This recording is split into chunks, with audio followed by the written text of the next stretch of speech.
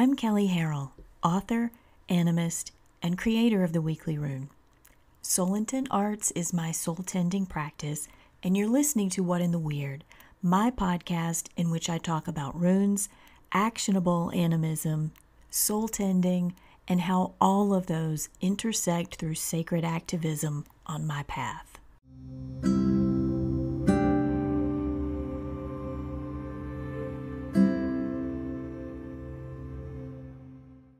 The weekly rune is out, and if you're not sure what it is, it's a rune cast that I've done for years, focused on the runic calendar and the current half month rune.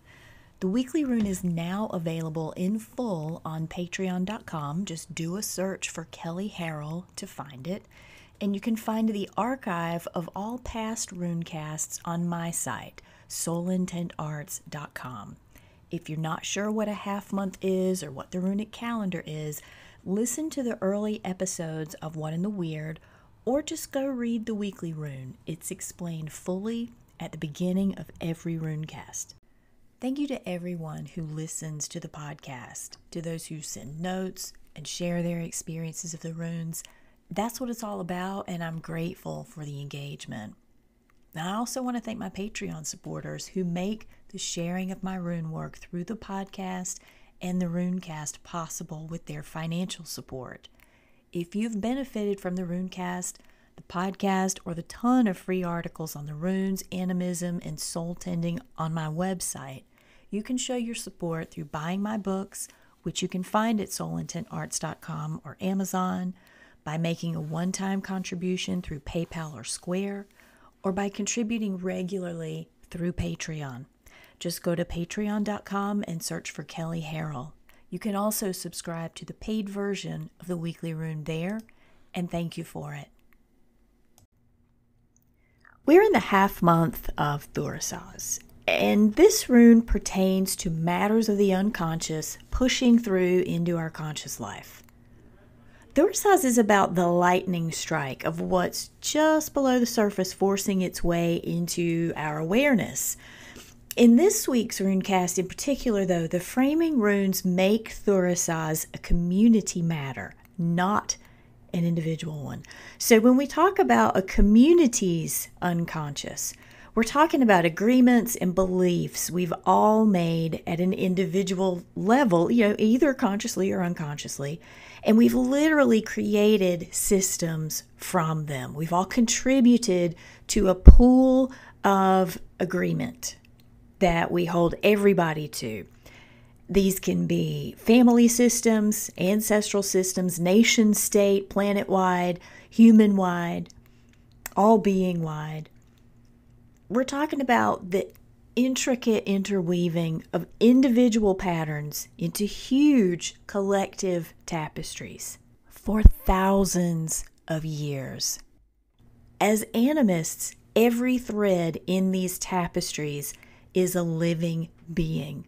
And every tapestry itself is a golem of all of those threads. And, and once you create a golem life force like that in egregore, it develops agency and will. You don't hear people talking about the will part too much. Because if you talk about the will, then you have to accept that the agency of a thing may be threatening the core focus of that will and agency is that it doesn't want to die, just like you, just like me. It's going to do what it has to do to stay alive.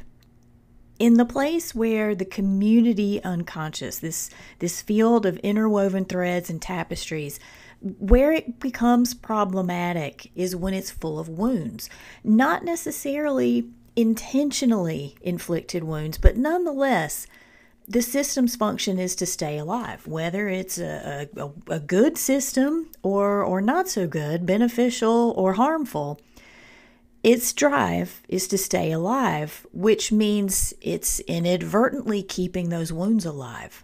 Or at least when that tapestry is formed, it is intentionally causing harm that's an entirely other level of complexity. When we're talking about intentionality versus um, this kind of accidental creation of streams, it's a it's a complexity in soul tending that we have to account for.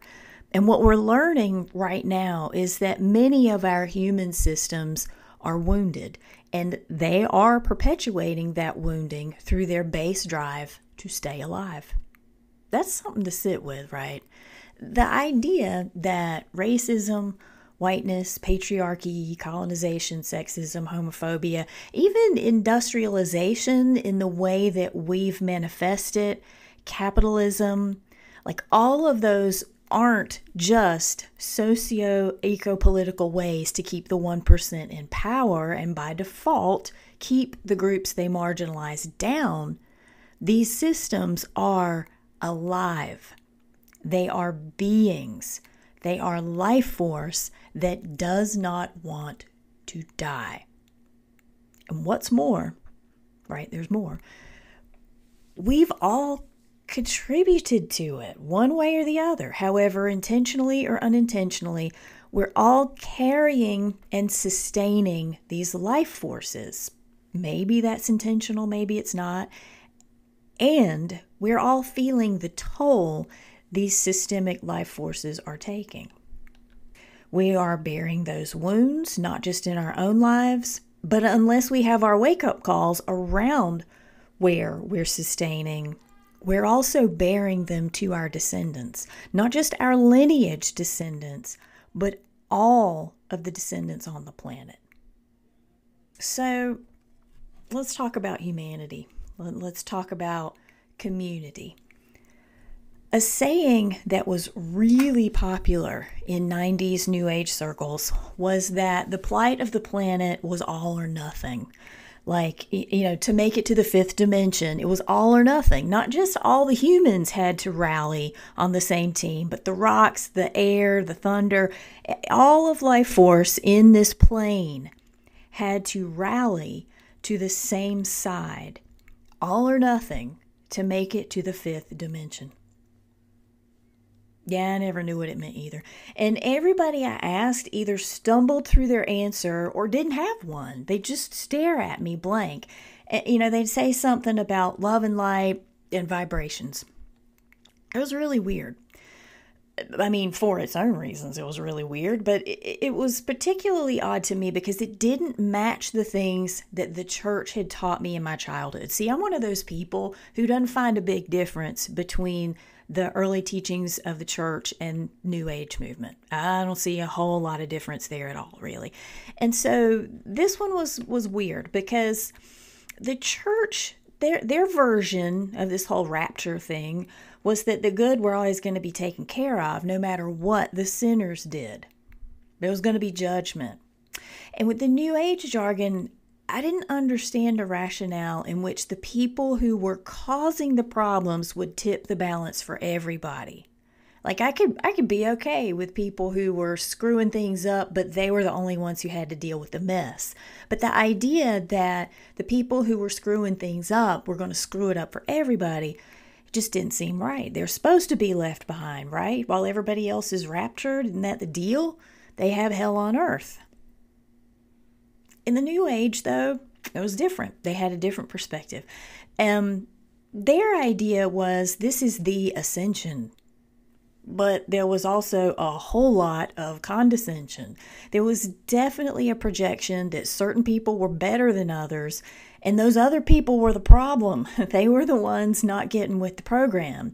And, so, you know, so there was still this projection that good people were going to be held back because of the sheep which meant we would all miss the fifth dimensional enlightenment bus. And there was a deadline. Nobody said what it was. I don't know if they knew what it was, but but early on there, there was a timestamp on this ascension, and with that urgency came the idea that everybody was still going to get taken care of even the ones who caused us all to miss the Enlightenment bus, and the people who were in the know were the ones that would have to clean up the mess. And they weren't happy about it. So again, condescension, if not condemnation, another version of hell on earth. Fast forward to winter solstice, y'all know where I'm going, right? 2012. That was a big deal in the New Age community, even the ones that were more academic and grounded. Um, or, or at least, you know, as as whiteness interpreted, this was the end of the existing Mayan calendar, and it was supposed to be this point that we all started living out of our higher consciousness, just like that. Wake up the next day, boom, enlightenment. That's how we conscripted or, or even appropriated what the end of the Mayan calendar might mean in the New Age upgrade to the fifth dimension. In my mind, that is the point that marked a couple of things. That that's when I started going, huh, what's up with this? It marked the turning point of the new age as we knew it. I would say the 60s through the early 2000s. Um, it began the great disillusionment that's the point that people started to realize they couldn't love and light their way through hard things. Winter solstice of 2012 truly is where that tone in the general spiritual new age community changed. And it changed quick. That whole law of attraction thing, people started turning on it. I saw so many people saying things like, well, I thought things were going to get better, or, uh, you know, why is there still so much drama? And I, I took that on in my blog in, in Intentional Insights about transition to higher consciousness equals shit show, surprise. None of it is going to go down without a fight because it's alive. It doesn't want to die. You know, what, what did we think it was going to look like?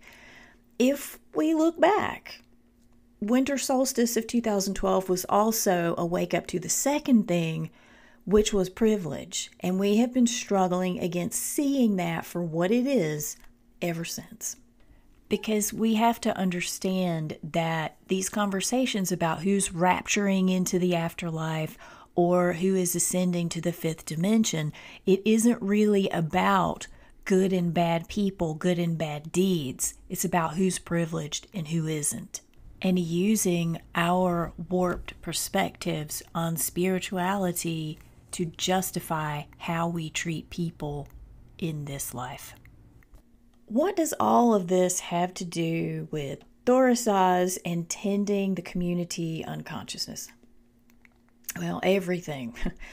First of all, whether we're talking about the rapture or the new age version of all for one, one for all, moving into the next higher dimension, no matter how you're phrasing it, it's always come across with the self righteous projection that you had to get on the right team or you're going to be left behind. And, and left behind can mean judged forever.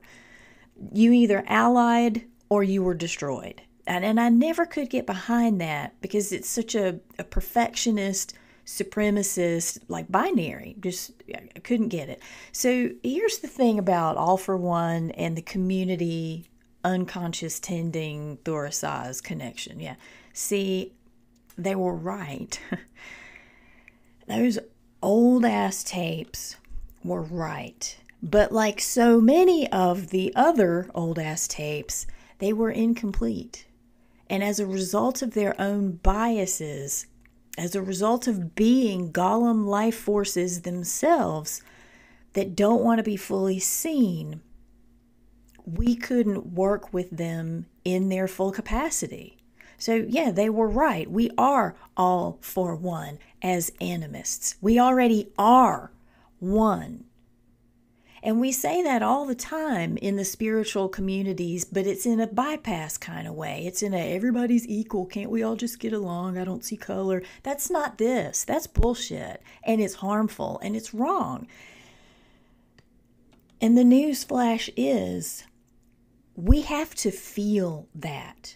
We have to feel the animistic component that makes us all connected. We have to live it in a felt sense. Hashtag be your community for really real. And that means that we have to delve into that community unconscious and take responsibility for what in it is ours what in it is our ancestors that has not been reconciled.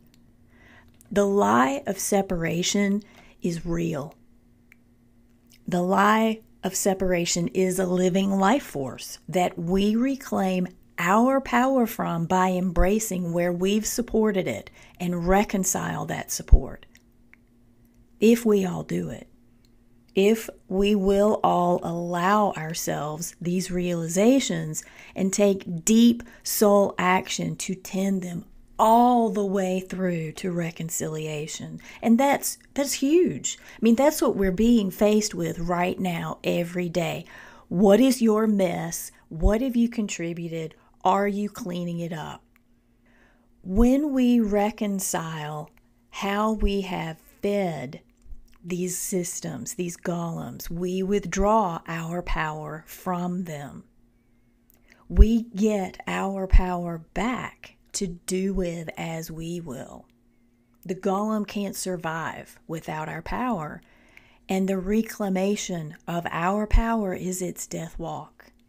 So, yeah, vote, be an activist, be an accomplice in revolutionizing how the needs of your community are met for everyone in it. Those literal actions you take are important. And do the soul tending. This is the part where being an animist isn't enough. You're going to have to find someone who does soul tending, someone who has these skills and can help you do this part, who can help you find the places where you have been responsible. You go in your life and you make the changes in how you live day to day, and you find someone who is a soul tender that can help you reclaim your power from those systems. That is where the personal overlaps into the community unconscious completely. You know, we got this reset from all the wisdom traditions of the focal point a few months ago. And if you don't know what I'm talking about with that, then you need to go back and read the weekly rune entry for Berkana in March we got that reset. It has been done. This is the part of the collective work that is ours to do, and nobody but us can do it.